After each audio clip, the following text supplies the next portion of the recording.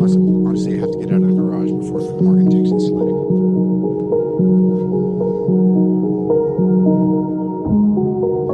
Plus, honestly, I have to get out of the garage before Morgan takes it slick.